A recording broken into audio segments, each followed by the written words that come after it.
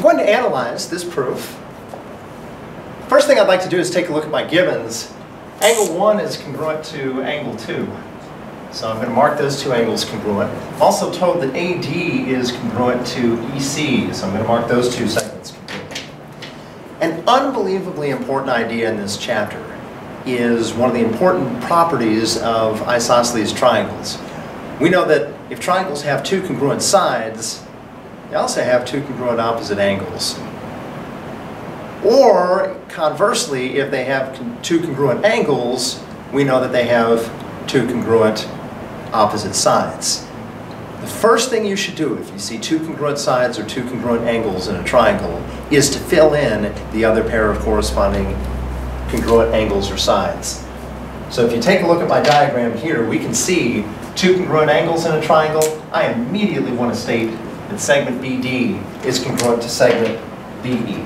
More often than not, that's going to be a huge part of the proof.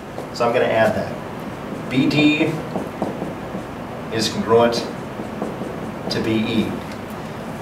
Now, as the reason, I could state that this is an isosceles triangle, then state that it has two congruent sides. However, our book gives us the option of just stating that if a triangle has two congruent angles, then its opposite sides are congruent. I'm going to word this in a triangle. This has to be one triangle. If two angles are congruent, then their opposite sides are congruent. The follow-up from this, I now have two congruent sides here. I have two congruent sides down here. If I've got congruent sides and I add congruent sides, I can show that those whole sides of the large triangle are congruent. And that's so incredibly important because if I can show that that large triangle is an isosceles triangle, I know that its base angles are also going to be congruent. So, I'm going to show that BC is congruent to BA. Make sure to put that step in your proof.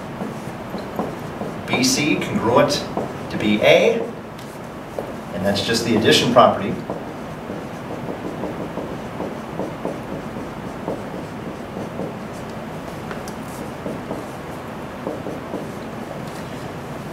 Now, this is an isosceles triangle. The large triangle is isosceles. Again, I'm not going to use the wording that it's an isosceles triangle because that would take me an extra step. I'm going to go straight to the theorem that says if two sides of a triangle are congruent, then the opposite angles are congruent. And that's going to tell me that angle 3 is congruent to angle 4. In a triangle, if two sides are congruent, then their opposite angles are congruent.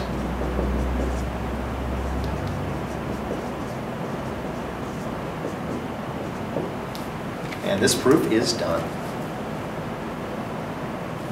The given information tells me in this proof the segment WX is congruent to XY. Also tells me that WZ is congruent to ZY. I'm going to mark both of those in my diagram.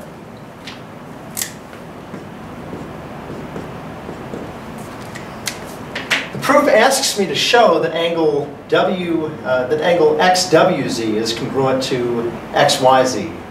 And that's this upper angle here and this X upper, uh, this upper angle on the other side. So the question is, how can I do that? Well, what do I know? The really important concept here, very straightforward. If a triangle has two congruent sides, the angles opposite those two congruent sides are also congruent. And that tells me this is an isosceles triangle, its base angles are going to be congruent.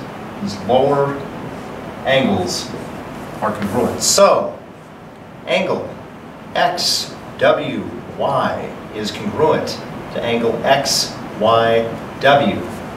In a triangle, if two sides are congruent, then their opposite angles are congruent. All right?